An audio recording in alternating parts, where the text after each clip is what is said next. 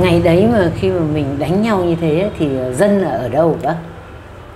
Dân mới mình vô mình đánh đó là dân họ đi hết này. Mình vô mình chiếm nó là dân rồi sợ sợ người ta chạy hết á. không phải đâu. Thế mình đánh nhau xong dân lại về. À, dân rồi, rồi một ngày sau im rồi báo là, là dân về. À. Chứ chứ dân ở đó thì tiêu hết dân đó Ừ. cho nên ờ, một cái nó cái đó cái trận mà. Chào con. À, cháu cháu nội đi trôn á. À. dạ hãy hãy ông ông ông ông chỗ? Phải ông nội đang ghi hình mà ngồi đấy. Ha. Cái- sau trận này về thì là họp lại thì ờ, bầu ờ, tôi, văn bản là ghi là đồng chí ca một mình một súng đánh một cánh đánh một đại đội địch diệt hơn trung đội. Theo cái ờ, cái cái xác nhận của anh thiện là chánh ủy là nằm trên nhà lầu ngói xuống đó. Dạ. Đây. Có chỉ tiểu đoàn thì à, được đề nghị tặng thưởng cái huân chương chiến công hạng ba. Thì thông báo. Thì à, sau mấy được đánh hết rồi sau đấy mới được à, tháng 5 là mới được đi chiến sĩ đua quân khu. Quân khu thì à, rồi đến à, cuối năm rồi mới à, đi chị biết rồi đi mới hư chân rồi không đi đâu được hết. Cái khi mà mình ờ, chiến đấu mình vào thì dân họ đi tức là họ rời khỏi cái chiến trường gọi chiến địa ừ. gọi rời khỏi khu vực đánh nhau. Khi mình xong cái chiến nhau xong rồi im tiếng súng thì dân người ta lại về. Vâng. Thế khi đấy thì nhân dân thì họ ủng hộ ai hả bác nói chung ra dân trong Phan Thiết thì à, chỉ trừ những gia đình cách mạng cơ sở cho họ.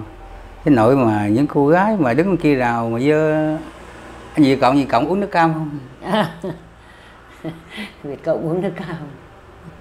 Hồi đó người ta nói là Việt Cộng là đeo tàu đủ đủ vậy à. dạ. không biết gì. Cái bữa nay mà nói là nó thấy Việt Cộng vô vậy rồi anh Việt Cộng họ không không biết gì đâu và họ ngỡ ngàng lắm mình vô là họ ngỡ ngàng đấy là bác đang nói về dân trong thành phố đấy. thành phố á. Tức là trong đô thị thì bị tuyên truyền là như thế. Là À. Việt Cộng là đu cộng đu đủ Ờ, không gãy. hồi đó là kêu Việt Cộng là bảy thằng đu tao đủ đủ gãy cơ mà. À, và họ cũng tin luôn. Đó. rồi nó mình sau này thì là khi mình giải phóng rồi là chúng mình nó chạy nó nói là mặc ống túm rồi à, rồi à, mâu son hóa phấn rồi ông ngón tay à, sơn đỏ là, là gì cộng nó cái kèm nó rút hết mà Ừ. ông không chạy ở đây là nó nó, nó thằng sát nó rút hết mà hồi đó là chỉ có dân dùng giải phóng đồ người ta biết cách mạng rồi người ta biết chứ còn dân dưới này thì chỉ trừ một số mà cơ sở hoặc là quen thân chứ còn có số người ta biết gì cộng là gì đâu nói thật với chị đó gia đình của tôi đó ông nội ruột của tôi là ở cái phan thiết này nè. Bà nội tôi là bà thứ nhất. Sau này ông lấy bà thứ hai ông bà nội tôi tức mới để bỏ mới về trên hầm liêm mới lấy chồng khác. Vâng. thì có ông ba tôi ông bác hai tôi là ông ba tôi. Thì ông ba hồi đó ông bác hai tôi theo ông nội ba tôi theo bà nội về này đi theo ờ, cách mạng. Còn- thì sau này những người con sau này của ông nội tôi á thì toàn là nhà buôn bán lớn không à. Dạ. những uh, sạp vải lớn nè những nhà hầm hộ là nước mắm lớn nè nhà vàng bạc lớn nè bán tiểu thương ở trong chợ này là có tiếng cơ mà. Dạ. và họ nói thật ra thì đầu tiên là tụi tôi về họ cũng cũng ngỡ ngàng lắm. Không, không, nghe nó Việt Cộng chứ không biết gì ra sao về thấy vậy con không biết không, không biết gì đâu. Và chỉ th- đây nói nói ra thì không phải nói họ hàng chứ còn nói thiện. Khi mà họ thấy vinh dự là khi mà giải phóng về rồi họ có một cái thân nhân là Việt Cộng. Đỡ cho họ phần nào gọi là tiểu thứ sáng. Thôi. chứ tôi có vinh dự là người ta phân bua là ông nội tôi là một bầy con bầy cháu là không đi đám cưới ai hết đó mà khi tôi cưới vợ thì ông đòi đám cưới ở nhà ông á. À. Tôi không chịu. Tôi nói tôi theo tổ chức là tôi cứ tổ chức thôi. Thì à, ông ban đầu ông nhận lễ ông không đi sau này ông đi. Đi được à, vợ tôi hỏi đồ văn công mà. Thì tổ chức đồ văn công. Thì hồi đó là mấy bà cũng quen thân với mấy cô tôi ở phan thiết là làm bánh ngọt đồ loại cũng sang không à rồi xuống đẩy ngọt rồi sau cùng mới để mặn cho anh em ở trong đoàn rồi đó. Rồi đã cơ bản để ngọt. Để ngọt xong cái rồi xong cái ông nói hết rồi ông nội tôi về. Thì ở đây mà mấy tổ chức văn nghệ rồi mấy múa ca múa rồi mà sao để mặn về ông chửi tôi thôi ông nói tao hồi đó giờ tao nghe nó giật cộng rồi mua là nó ca hát múa sao mày không cho tao coi mà gạt rồi mà mày mày mày đuổi tao về. Nói, trời ơi đó. Ông nói hồi đó giờ chỉ ông nội tôi đi dự đám cưới tôi thôi không dự đám cưới ai hết. Ừ. cả dòng họ là không bị. Còn ở vùng nông thôn thì sao ạ? Vùng nông thôn vùng nông dân- thôn cái gì nói chung ra nó hồi đó nó vo tròn lắm. Cái như nó cái vùng phan thiết này vo tròn vậy nè thành vòng đai vậy nè chỉ những người à, gia đình mà cách mạng ở ngoài họ bị lùa ở này ở. Hết đợt lùa xong họ bung ra về họ làm ăn. Thì họ biết thế nào là cách mạng thế nào là chiến tranh thế nào là là ăn Việt Cộng ra sao.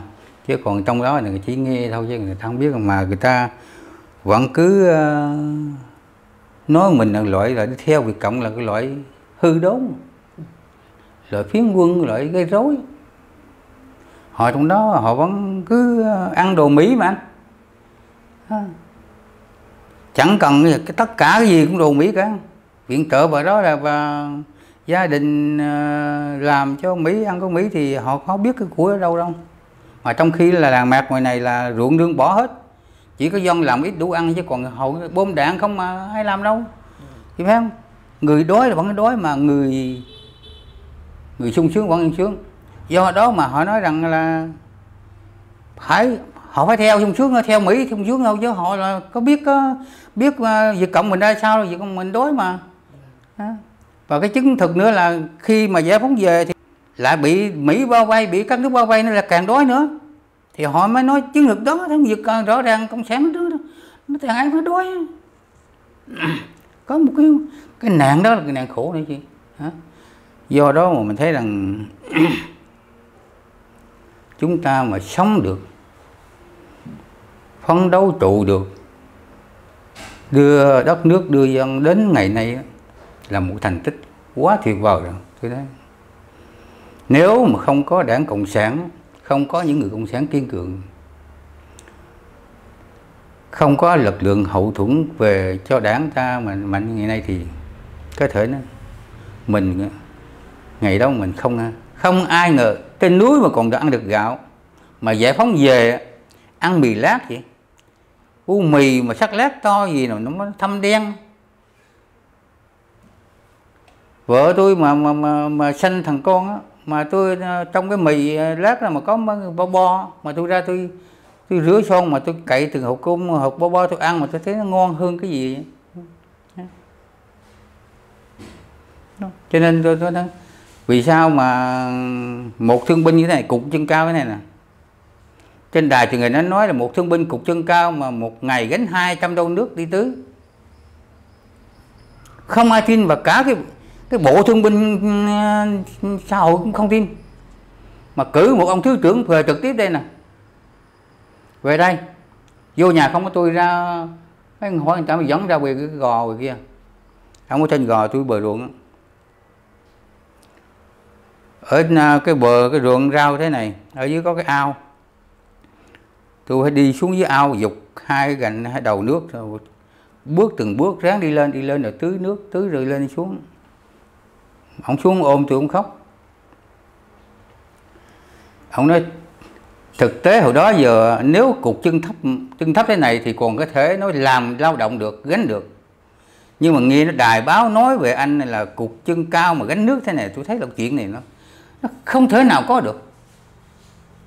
Hôm nay ngồi trên đó nửa tiếng đồng hồ với lại cái cô ờ, thương binh ờ, xã hội của, của tỉnh nè cô ấy biểu xuống tôi không cho tôi ngồi coi anh nửa tiếng đồng hồ rồi.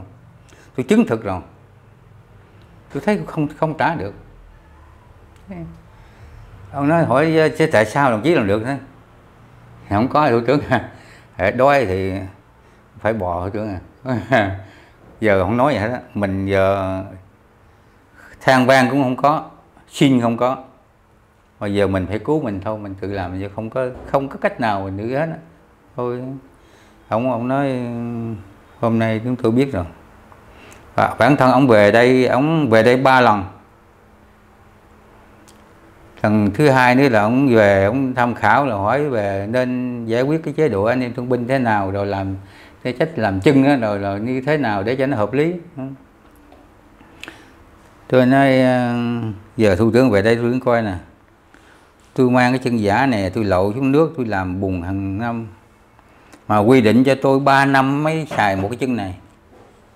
Trong khi tôi làm 6 7 tháng hư mẹ gãy mẹ chân. Nói thật ra thủ tướng là cái chân này tôi không có chặt tôi hầm tôi ăn được. Mà tôi làm tôi tưởng thấy rồi đó. Mà cái thương cái làm sao mà uh, quy định tôi 3 năm thì bây giờ tớ tiêu quá.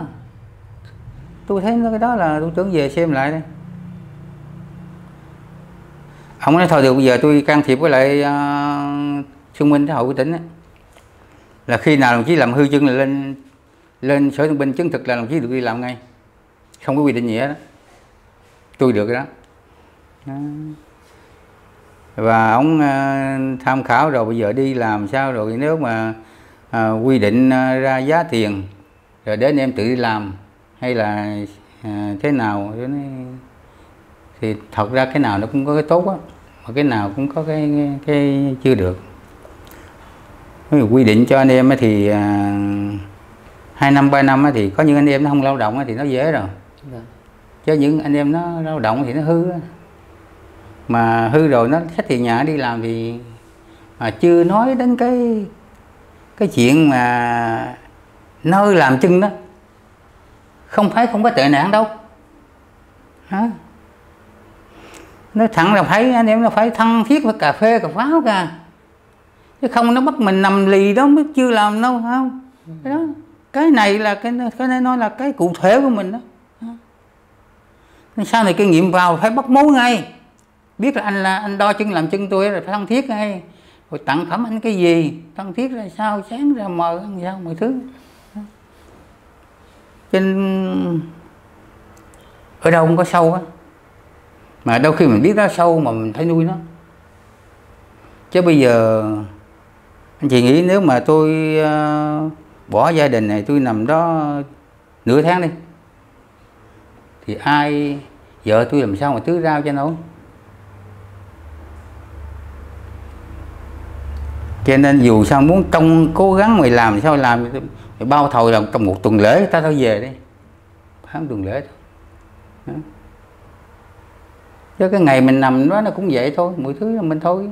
Mình biết rằng con sâu mà chiều mình phải nuôi sâu thôi không có cách nào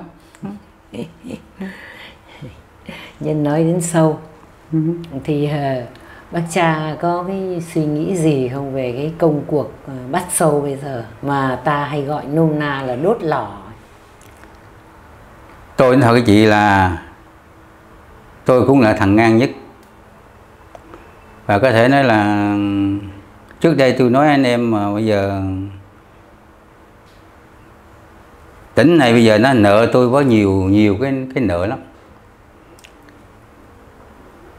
Cái à, chợ gò nãy tôi nói chị đó tôi đã từng theo anh tí bao nhiêu tí bí thư tỉnh ủy bao nhiêu năm khi thấy gì rồi tôi biết cái à, cái thư ngõ gửi cho anh Nguyễn Anh Hùng bí thư đó. Xin làm cái chỗ này một cái nơi thờ cúng liệt sĩ. Chứ để một cái bà mẹ già tám trên 80 tuổi mà cái bà này sau khi mà bây giờ lại bắt đầu à, ờ, đốc và xây nhà thì phát hiện có cái hầm có hai anh em mình. Định nó tới lấy súng. Rồi bà lại cùng bà con đưa lên trên này mới đi chôn thì khoảng cái trống bà mới xin một cái trang, cái gỗ đó. Rồi bà làm cái trang thờ nhỏ đó. Bà thờ. Thì chỗ đó lại là ngay phía sau cái nhà của tôi nằm tôi đánh địch. Tôi mới nói, tôi nói, tại vì sao một cái bà già đó, một bà nghèo người bán rau, trầu cao nghèo, bà thờ đi sĩ ta mấy chục năm nay được? Mà ta bây giờ bây giờ không có một nơi cấm kê nhang cho các liệt sĩ của mình. Tôi khẳng định với các anh á những người còn bay lên trời hoặc người nằm đây họ chưa đi đâu. Là vì tôi là người uh, truyền lệnh rút. Mà họ không có nhận lệnh rút của tôi thì họ vẫn nằm đây nè. Tôi nói đến nỗi đó nói, nếu mà nhà nước không làm thì cho tôi làm mà đến nỗi anh em ở ngoài động viên ra là mày cứ làm đây là tới đây động viên là mà đến sau cùng tôi nói là rồi bán mới, mới đồng ý là ông để ông làm. Bây giờ mà họ hứa không à? Bây giờ hầu như toàn bộ bị bắt hết rồi.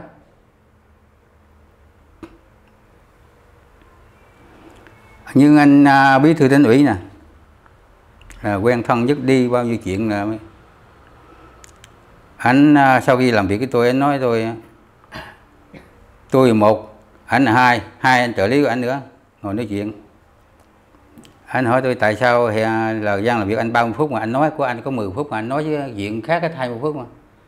Tôi nói ờ tại chuyện nó cần hơn giờ tiện tôi chưa nói được diện khác nói. Cái chú khác tôi đề nghị chú nói tôi phải nói chuyện. Tôi nói, anh bí thư này nè, họ không dám nói với chú đâu mà họ nói tôi. Mà chú muốn nghe không? Anh nói, thôi anh nói đi. Tôi nói với chú là người ta nói cái tỉnh này á, giờ phải đặt tên là cái tỉnh Rạng Đông, chứ không phải tỉnh Bình Thuận nữa. Vì thằng doanh nghiệp Rạng Đông này nắm hết rồi. Là người ta hỏi vì sao á cái thằng này mới làm đây mà nó được cái anh hùng lao động mà nó được làm cái đại biểu quốc hội. Người ta nói là tất cả cán bộ của thành phố và tỉnh này nè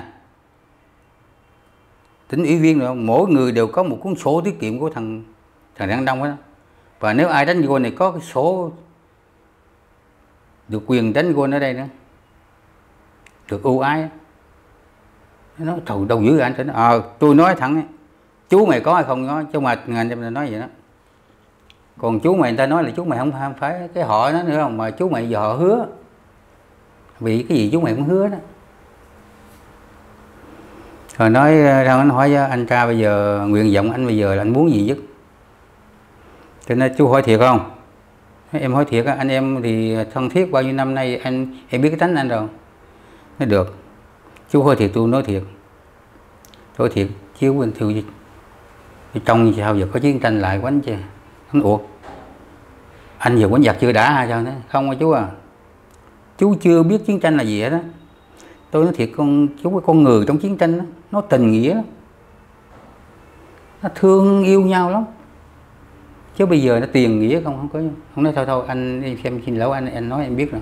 Thôi không tôi hỏi chú tại sao bây giờ có những cái mà chú chú lập lên thì ít mà có những cái không lập mà có nhiều hỏi cho cái gì chú chú lập lên cái à, khu công nghiệp.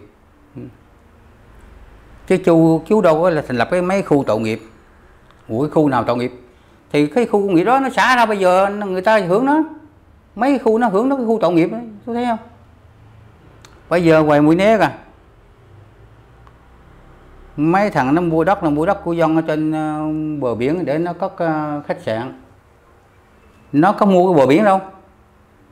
Mà sao giờ nó được quyền sử dụng cái bờ biển đó nó không cấm cho ai đến mà chỉ có khách của nó thôi. Đó.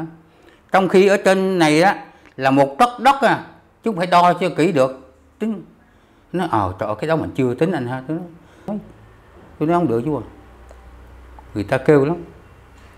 Kêu mà mấy chú không nghe đâu. Tụi tôi nghe đâu người ta không. Cho nên tôi nói với mấy chú là cái hỏi ờ, tôi nói thiệt bây giờ thằng thành á bây giờ người ta đi phản đấu nó đó. cái hình ảnh là đi người ta cầm đi ta ngồi lót đít giờ còn mình chú thôi. Bây giờ là chú làm sao nếu em mà có cái gì người ta mời chú gắng cố gắng ta đi tới với nhau. Tôi hỏi cho anh anh có ở đây à, có nói cách hai ngày nữa là cái à, bên cái, à, cái ban hậu còn của tỉnh rồi đó. Nó có làm cái ngày dỗ của anh em đó cái uh, ờ, bữa giờ đầu tôi lên tôi thấy thì anh anh Thang nói trời ơi anh đi về nguồn gì mà anh có tiền anh quay video mà tôi bây giờ không có tiền quay video nữa. Cho nên tôi tôi nói đó tình hình như vậy đó anh em người ta thì chú nghĩ coi. Có mấy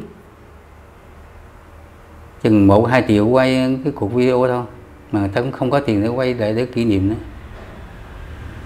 Chưa bằng buổi cà phê sáng của các anh đang ngồi hả? Tôi nói chị này năm năm sáu chín đó đi chiến di quân khu đó. Ai nay viết báo công hết ông xuống xem tôi viết thì chỉ biết cái cái văn hóa tôi rồi tôi biết là không có sửa. Xuống ông nó xem được. Nhưng mà ông chỉ ờ, góp ý thêm là chỗ này nè. Em nên nói là khi mà à, tôi ngắm ba tôi đánh địch là tôi nghĩ tôi căm thù để mỹ nó qua đây nó giết hại đồng bào xóm làng tôi thế này thế khác trong đó có danh tôi danh tôi căm thù nữa có anh. Cái không có. Nếu anh nói trong tập huấn chính trị thì có thể nói ra được. Trong khi quánh giặc là quánh giặc không nào nói đó chuyện đó nên nè.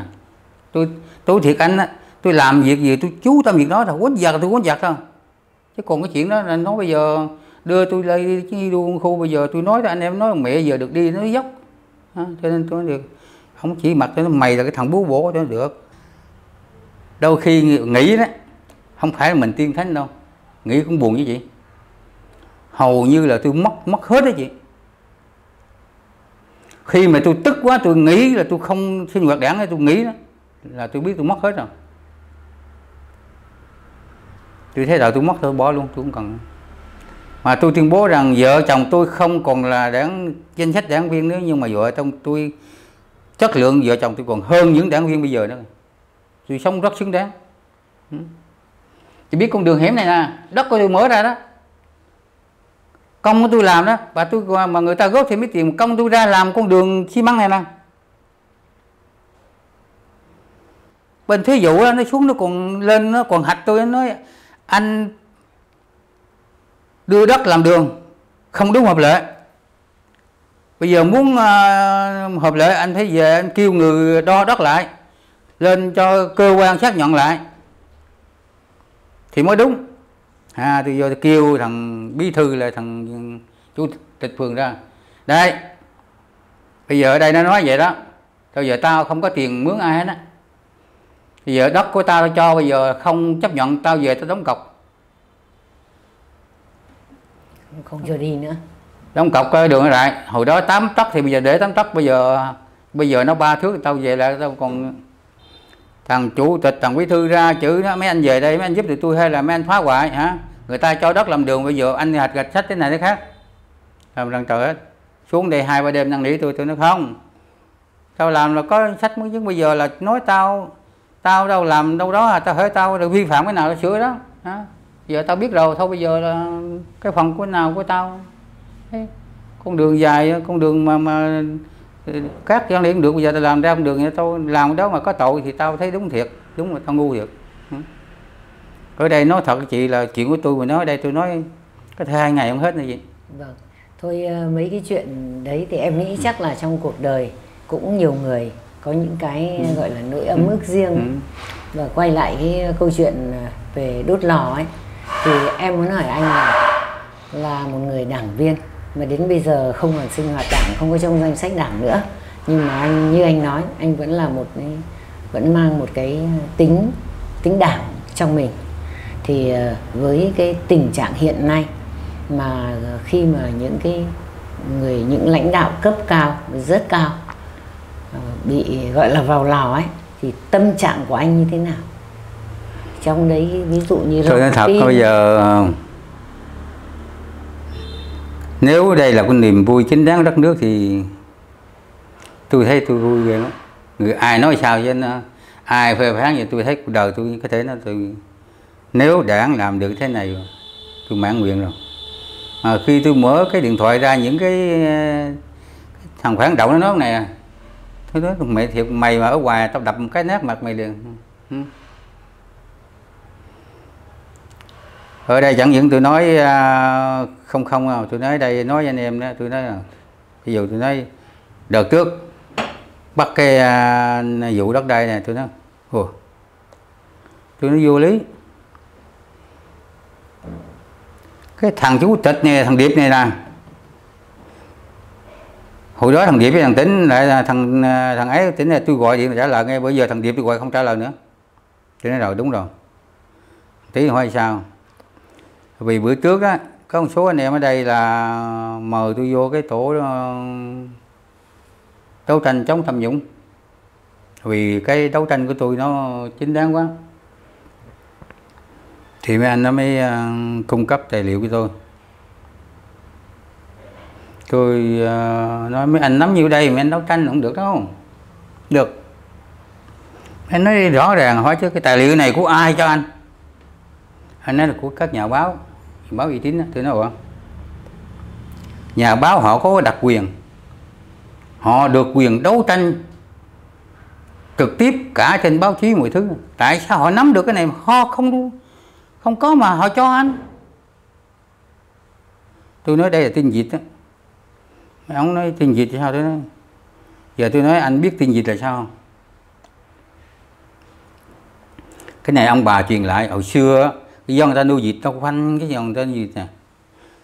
Thì đêm mới là cái con rắn gì nó bò vô, nó cũng cái con vịt đầu tiên con vịt đầu tiên nó sợ nó kêu. Còn ở trong không biết gì nó không kêu, mà không ở trong lại cái trong là càng kêu lộ nữa. Mà chẳng biết gì là càng kêu to. Tin vịt là dễ anh nè. Bây giờ tôi hỏi anh nè, cái này tôi nghe rồi, có người báo tôi biết rồi. Giờ ở đây có hai đặc điểm, ví dụ nói thằng điệp nó làm chủ tịch nó ký à, bao nhiêu dự án này nè. Anh nói là thôi 10 dự án này nó được 10 tỷ rồi bao nhiêu tiền không tính.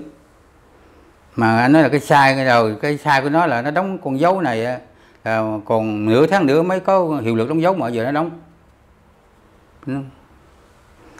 Tôi không kháng nghiệp tôi không trả lời với anh về dự án á thì nó có trên có dưới có hộp có thông qua nó có quyền có thể anh biết rằng có thể trong này nó có ăn gian bớt có xấu sai đó. Nhưng mà anh chưa nắm được cái thốt nó chưa có bằng chứng. Anh mà chỉ nghi thôi. Ở trong gian ta nói nghi anh có được quyền nghi. Anh không được quyền nói khi chưa, chưa có chứng cứ ha cái thứ hai nữa anh nói là con dấu này. Bây giờ đến con dấu này cái thằng cái thằng văn thư đó nó nó trời dạ con xin lỗi. Đóng dấu thì con đóng khi đưa cái dấu về đỡ hộp con lật đật lấy đóng con quên con con lấy lộn. Gì sao? Thì anh đợi anh đi chuyện nó là nhiêu đó tức vớt rồi anh chuyện gì nữa? Bịt bịt máu cái này chuyện gì nữa? Tôi nghe rồi. Và tôi đó những câu chuyện như thế thì yeah. Dạ. có khiến cho anh cái lòng tin của anh đối với sự lãnh đạo của đảng? Có chứ để nói cái gì nè. Tức là nói qua chuyện này là tôi đã biết thằng điệp này nó nhúng chàm rồi. Sau đó tôi có tâm sự với nó kéo với nó. Tôi nói mọi chuyện. Nó đêm hôm qua đây, nó bánh trung thu là ngày trung thu nó tiện. Tặng bà già tôi, anh em tâm sự, nói chuyện. Không biết tôi nghe tình hình đó, giờ anh em ta nói thẳng với mày á. Hồi đó giờ mày ở dưới phường, cái này kia anh em dưới à, thành phố thân thiết á, biết tính tao rồi. Nhưng mà giờ là nên làm sao cho nó khéo khéo lại ha mọi thứ để dân người ta nói thế là không hay. Bây giờ nếu có hay không thì mình về mình kiểm điểm lại. Ừ. mà anh, người ta còn mời anh tham gia vô đó nữa đó. Nhưng mà anh chỉ biết như thế thôi. Bây giờ anh sức khỏe không có làm đâu. Mà anh nói với em để mà nếu có mức độ nào đó thì em nên nghiên cứu lại. Nếu có sai thì mình sửa cũng được chứ không có gì đâu. Anh thấy, anh nói thẳng vậy đó từ đó tôi gọi điện gì nó không trả lời nữa. Thay đổi số. Tôi nói một tí rồi anh nói rồi thằng điệp này nó có rồi. Nhưng mà tôi không ngờ rằng chuyện thằng điệp có thì thằng tí đâu biết mà thằng tí đâu có trong đó nữa. Mà tôi, nó chẳng dám nói tôi. Mà tôi đã nói bộc bạch như nó như nãy thì nó tôi nói đó. Nó không cho nên tôi thiệt bây giờ đó. Bung ra đợt hai này đó bắt 35 thằng nữa đó trong đó rằng điệp hồi đó là coi như là được án á keo thôi. Bây giờ là dính vô vụ hai nữa. Mà tôi chưa hết đâu. Tôi nói mà chưa hết đâu. Nhưng mà những cái à, cán bộ chuyên môn hồi xưa nó bị cái bộ này trù nó ém đó thì nó lại rinh được toàn bộ cái tài liệu này. Bây giờ cái tài liệu nó rõ ràng hết rồi chạy đâu nữa mà. Nó à, ủng hộ đinh trung nó, nó cho đinh trung làm đợt hai nữa thì bây giờ vì sao là trung, ờ, trung ương về hai đợt rồi đi ờ, ờ, rồi không có gì mà bây giờ quyết định là làm đợt này ra nữa thì khui ra không thể nào chạy đâu được mà tôi nói là cái đó là một phấn khởi nhất tôi nói là cái điều này tôi nói rất là là là ở đây tôi oan ức nhất là lên bệnh viện đó cái bệnh viện là một có một khu khu nằm nghỉ dưỡng cho cán bộ ở tù đó. mình vô không có viên thuốc nào hết á đó mấy thằng đó lại lại là như thế. Chị thấy không bây giờ là kiên quyết làm sao là cho nó nó, nó triệt hạ hết đi. Ngày xưa ấy thì khi mà anh trong chiến tranh chiến đấu thì anh chủ yếu là đánh nhau với mỹ hay với ngụy? Ngụy nhiều chứ. Ngụy nhiều. Ừ. vâng. ờ, bây giờ mà có những cái phong trào của những cái câu lạc bộ người yêu đồ lính rồi này kia xong rồi là mấy anh em mấy anh chị em người ta mặc cái bộ đồ của ngụy rồi ờ, cắm cờ mỹ này kia thì anh thấy thế nào? Cái đó là quá tả không được vậy. Tôi nói không giờ cái gì tôi nói nếu tôi tôi xem tôi xem như nấy là tôi nói không, không được. Cái đó nó rõ ràng yêu sao được mà yêu? Tôi nói chỉ cái sắc phục cái thôi. Nó đã thể hiện cái phản động hồi xưa đến giờ rồi. Mà bây giờ mà yêu sắc phụ nó yêu cái gì? Tôi nói thẳng. Biết tôi uh, nhìn nhận là nó có ấu trĩ quá hay nó sai thế nào nhưng mà tôi bản thân tôi thấy dứt khó không được. Một con người mình yêu là phải có nguồn gốc ha? yêu cái gì mình đáng yêu? Bộ sắc phục của thằng mỹ mà đi yêu thì mà bộ sắc phục rồi đó đã gây biết bao nhiêu đau thương cho dân tộc cho cho mình. Bây giờ mình yêu nó. Trong cái uh, hồi ký mà chị đăng đó có một số anh em bên, bên Canada chị cứ xem hết không? Có. Họ nói thẳng với tôi cái cái gì chị nói là báo là bây giờ thôi giờ tình hình như thế ông có khó khăn gì giúp tôi chứ giúp đỡ không tôi đã biết rồi tôi nói thôi bây giờ tôi cảm ơn các ông. Hồi đó tôi sống có tổ chức có sự uh, dìu dắt của đảng của nhà của đồng bào của nhà nước. Bây giờ tôi sống tôi ăn lương của nhà nước của nhân dân. Tôi có khổ thật nhưng mà tôi không có đói không có ai tôi ờ, tôi uh, cái thành tình của các ông tôi cũng cảm ơn chứ tôi không có không có gì nhưng mà thôi mấy ông giúp đỡ người khác tôi không dính bẫy bọn nó để ăn đồng bạc đấy nữa nó riêu rao lên cái bọn phản động ra đấy. Tôi thật chị là cái đó là không thể nào nào mà, mà tôi mắc bẫy được đâu không còn được. Đừng rồi, giờ bọn đó cứ ờ, lấy yêu cái này yêu cái kia cái đó. Đó là cái mầm móng phản động rõ ràng không có nói. Đừng có nói. Không có lấy ờ, cái cái ờ, cái cái, cái, cái cái hình ờ, cái này mà chê chia chia đậy cái bản chất cũng được. Bản chất là bản chất phản động là phản động không có yêu nước gì nữa hết. Ngày mà anh chiến đấu thì anh chiến đấu ngay trên quê hương của mình. Như vậy là trong đấy sẽ có những cái cuộc chạm chán hoặc là à, tức là địch ta ấy thì sẽ có những cái người mà nếu bình thường không có chiến tranh họ chính là bà con của mình họ là hàng xóm láng giềng của mình.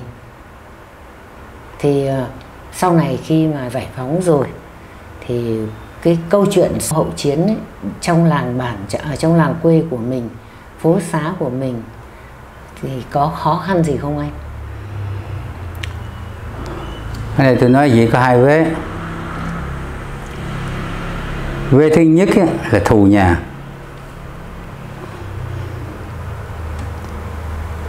Khi hai anh em thì bị thương nằm bệnh viện đó thì em tôi ra về dốc đó, thì nó gặp ông dưỡng tôi nó nghe cái tin là ông già tôi hy sinh. Thì nó về nó nằm trên cái cái sạp giường của tôi nó nằm biết sao tôi hỏi nó thì bữa nó về vì nó bị à, quán gà tối không đi được. Mà thấy nằm thì biết có chuyện rồi thôi tôi hỏi thì hỏi chứ sao vậy? Nó nói ba chết rồi nó ủa sao em biết? Nó nói chiều ờ, em đi ra ngoài dốc, em gặp dương mừ, ông báo tin, ông ờ, ông quân báo. Báo tin về. Rồi. Thì ra hai, tối hai anh em nằm trên cái sạp đó, nằm suốt đêm, không nói gì hết. Gần sáng nói thôi. Anh em mình cố gắng ờ, đánh giặc để mà trả thù qua thôi. Thằng em tôi nó tiến bộ rất nhanh. Nó về xe hai thị lên tiểu đội trưởng. Trung phó trung trưởng đại phó. Nó kết nạp đảng từ hồi đó quy định là phải là chủng quý mấy cái đồng đảng, mà hồi đó nó nó là tiểu trưởng nó kết nạp đảng rồi. Và nó hy sinh. Ba anh em của tôi là ông anh thứ ba, thằng thứ sáu, thứ bảy đều hy sinh năm, đúng 20 tuổi. Ông ba thì chết ấy, thì à, sau khi về thì ông dượng tôi ông cũng báo thì ông biết cái thằng bắn ba tôi. Khi mà nhà, cái trận bữa trước là tiểu đoàn tôi mà đánh à, địch ở phía trên nhà tôi chú đó là cái bào trắng bào bào vào cái bông á thì chết rồi. Sáng bữa sau là một tiểu độ bị cách của nó là nó quy tụ là này là của ông phạm đình chiến uh, cung cấp cho ai thằng này mà coi như là hồi đó thì ông ba tôi về, xong rồi nó bắt mấy lần, quánh gần chết mà trận này là bị bị thất bại, trận này nó căm thù, nó chạy nó chạy lên một hơi là ông già ông già tôi là dẫn, bà già tôi xuống dưới hầm trong nhà đó sổ chúng nó bắn bắn ngói, nó thấy là chiến, bà chiến chết rồi, chạy về. Không yêu nữa. Có thù gì thù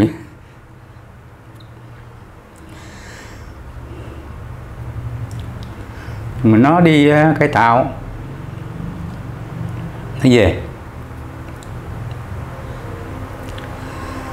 Tôi à, đi lên nhà nó biết anh em ở ngoài. Tôi vô nhà nó tôi thấy nó cú đất. Đứng lên nói chuyện. Rồi tôi đi chân giả rồi bắt về. Cái hỏi chứ rồi anh mời vô nhà chơi. Hỏi, hỏi chứ anh là ai biết tôi? Biết chứ sau nó hỏi anh là ai đây?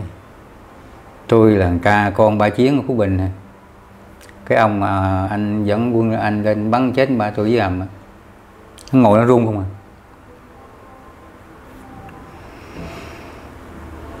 Không, nói thật ra với anh, bữa nay là tôi đến đây thăm và nói anh, nói chuyện với anh biết. Để anh, trong lòng anh vẫn cứ nghĩ rằng hồi đó mình bắn ba nó, chắc bây giờ bây giờ thì nghĩ nó sẽ bắn mình thôi thì à, tôi ghé đây tôi thăm anh chút tôi nói thẳng cho anh biết. Cho là chiến tranh đi. Ha cứ gộp đây là chiến tranh đi. Chứ bây giờ mà tôi bắn anh thì sau này con anh nó thù nó bắn lại gia đình tôi thế này nó cũng không hay vậy thôi. Bao nhiêu người chết rồi cái đừng nghĩ. Tôi vứt bỏ hết tôi không tôi nói cho anh biết vậy nó rấu rít kêu dở ra nữa. Nó thôi thôi tôi bận anh cho nó chờ tôi đi. Đi vậy. Tôi không nói nữa. Đó là tôi giải quyết với người ngoài. Anh chưa biết chị chưa biết trong nội tình trong gia đình tôi đâu. Anh thứ hai tôi là sĩ quan mỹ đó. Anh thứ hai tôi uh, năm sáu sáu là là sinh viên mà trong phật tử khi đấu tranh trong sài gòn thì uh, thời năm sáu sáu mà chiếm cái à, đài phát thanh trong sài gòn thì ổng là một người trong đó lên uh, rồi nói rồi uh, mới có cắt ngón tay mà mà lấy máu viết thơ tổng thống mỹ đó. Dạ. sau cái ông ba tôi về năm sáng ba tôi về ông có gặp thì ông ấy nói không cho ra về uh, quy dân quán nga về quế gì rồi đó không ở đây nữa. Tôi hỏi sao ba không đưa anh ai lên? Không, không được con à tụi con thì ba đi đưa được ba tin được nhưng mà nó ông ba không tin. Thì xưa giờ nó không biết gian khổ gì đâu. Mà thà ở dưới này nó làm gì làm được làm chứ mà đưa lên đó nó chạy về mình, không ai nữa. Ông ba thôi hay lắm. Người còn thẳng thắn tôi nó tôi mang cái dòng họ, cái máu của ông ba tôi mà, ông ba tôi ông nói đây, thì sau này ra về à, Quế thì nó dây chùa thì nó bắt đi học sĩ quan thì ra là sĩ quan à, pháo binh trung úy pháo binh mà chuyên môn của anh bài. Bài thua yeah. Thế, à, khi mà ở tù về về giải phóng về rồi cái người ấy vậy về về đây rồi xong nhà nước cũng ưu ái lắm.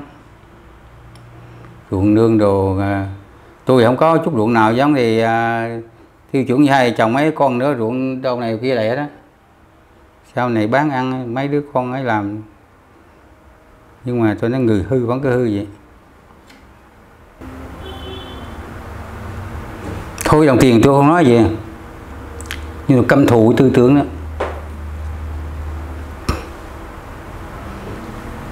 Ông nói quanh quanh lại là ông nói một câu với tôi là tao thiệt mày ta không đi mỹ được là vì do cái lịch sử truyền thống của gia đình này nè. Thằng mỹ nó không cho tao đi chứ không phải là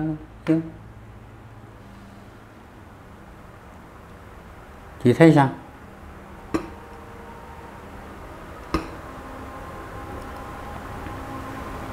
Tôi thắng, tôi biết rồi.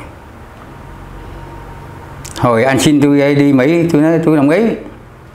Nhưng mà tôi thắng anh á không phải anh đi Mỹ tôi ham tiền Mỹ đâu nha. Mà đây là cái là cái ờ, nó ăn sâu trong máu anh này. Thì gốc gác của anh, chứ không phải không gốc gác bên tôi anh nhờ thôi. Anh về để giải phóng là anh nhờ gốc gác bên Việt Cộng này để anh sống. Bây giờ Mỹ nó muốn muốn vô qua thì anh anh muốn qua đó anh sung sướng. Quan thệ anh sung sướng thì anh cứ qua đi anh ở đây cũng chẳng cái gì đâu. Anh cứ đi, chứ tôi giữ làm gì? Nhưng mà đừng có nói tôi là ham ở đây sao này gỡ gì không có đâu. Rồi, bao nhiêu lo tiền tôi lo hết không có gì hết, sau này mượn tiền. Nói tôi một câu gì? Hỏi một câu đó, tôi nói, ai được rồi. Tôi nói, thật. Bây giờ đó, nếu có thằng nào móc nói anh làm phản động cho mỹ, anh làm liền, yêu cầu có tiền làm liền, bản chất anh là thế. Từ nhỏ giờ tôi sống với anh, tôi biết cơ mà.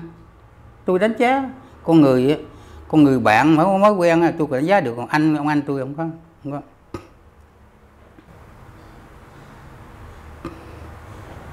Cho nên tôi nói vậy là tôi rất buồn là vì một cái gia đình mình như thế, mà còn vướng như thế, huống gì nói người khác. Nhưng mà mình thù nhau làm cái gì? Tôi thấy, tôi nói với vợ con nói bây giờ mình giờ mình buông bỏ hết em mà cả đồng tiền mình mất mình buông bỏ đi, đừng có nghĩ càng nghĩ nó càng hại mình thêm thôi, không gì hết. Mình cứ thanh thản, mình sống được ngày nào cho vui vẻ. Con mình đối xử tốt với mình thì mình vui còn không thôi. Mà mình không có gì mà phải than vang hết. Mà nói thiệt với bạn anh chị bà con á, từ ngày vợ tôi mất, tôi thấy tôi có hai đứa con dâu đó, hơn hai đứa con gái vậy một năm mười cái đám dỗ nè, ngày rằm mùng một. Bông quả đầy nhà đơm đầy đủ, coi như cúng đầy đủ. Nhất là con dâu lớn tôi nó còn chú đáo hơn mẹ nó nữa. Và tôi thấy chúng tôi thấy trong nhà không lúc nào có cái chuyện mà buồn phiền đâu. Mà lúc nào ông cháu con con cháu một thứ là cái tư tưởng rất thoải mái mà cái phong cách rất rất vui vẻ, không có gì mà phải buồn nặng cho nên người ta mới nói nó tao thấy mày gì mà còn có phước hơn nhiều người tôi đúng rồi tôi có phước tôi có hai đứa con dâu con dâu tôi hơn con gái nữa dâu lớn tôi là tuyệt vời lắm không có gì nó bảo ba đừng có lo gì hết đó ba đi chơi cái đi chơi sống ngày nào cũng sống ba có gì đừng có gì lo rồi con lo cho ba hết đừng đó cho nên tôi là tháng 3 triệu ba triệu đưa nó 3 triệu còn đi còn tiền thuốc nào hết là nó 5 6 triệu nó lo hết anh nhắc hỏi tí là nhà mình có ba liệt sĩ kia thì là là à, thật ra con trai đấy. Đây là bốn lượng coi như là ông già thì vừa rồi là phải gỡ đi sửa lại là ông già là phạm đình chiến. Nhưng mà khi đưa má ra sửa ra ấy, thì nó viết là nó biết lộn ông già là phạm hữu chiến theo tên của mấy đứa con. Phạm hữu cha dạ, dạ. Nên à, cho nên là ông già là phạm đình chiến. Mà viết theo tên của ba liệt sĩ con này phạm hữu phải đi đi đi, đi ra đổi lại rồi đó. Thế là gia đình anh có bốn liệt bốn liệt sĩ. Thế thế mẹ anh là mẹ Việt Nam mẹ Nam Anh Hùng. À, thế còn là cái cái cái chỗ anh hùng lực lượng vũ trang kia là à, anh Hùng là ông già ở tù đó tù công đảo. À. à, nghe đến uh, câu chuyện của anh đến càng đến cuối thì em càng thấy là lạc quan và rất là đáng mừng trong một uh, gia đình có truyền thống cách mạng. Ừ. cũng có những câu chuyện đau lòng riêng mang cái tính rất chung của đất nước. Và đặc biệt là cái tinh thần không khoan nhượng của người cộng sản. Ừ. nhưng cũng rất là độ lượng buông bỏ và vị tha. Thì nhân dịp đến thăm anh em một lần nữa cũng chúc anh cùng với gia đình được vạn sự như ý. Và nhất là mong anh được có sức khỏe vâng là một thương binh à, bây giờ đến à, gần 80 tuổi rồi. Thì à, vẫn sống có ích vẫn có ích cho đời. Và cái câu chuyện người thương binh gánh nước và lao động để tự cứu lấy mình của anh em nghĩ nó cũng là một cái tấm gương rất xúc động ừ. cũng như những câu chuyện khác. Và một lần nữa em rất là cảm ơn anh đã chia sẻ câu chuyện của mình.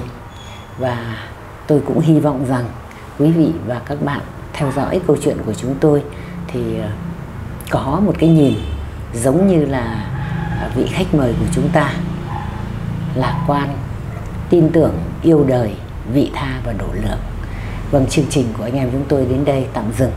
Xin cảm ơn quý vị và các bạn đã quan tâm theo dõi. Xin kính chào và hẹn gặp lại. Em cảm ơn anh. Ừ. Tôi cảm ơn các bạn nghe này thì tôi hôm nay là cũng uh, bất ngờ gặp được Hải Yến chuyện tâm sự này đây là chuyện rất thật thôi dạ. ừ, chẳng có gì cũng như là tôi viết hồi ký tôi viết những viết, viết thật và rất thật dạ. tôi viết cho con cho cháu tôi chứ tôi không, không muốn đưa ra dạ. Ừ.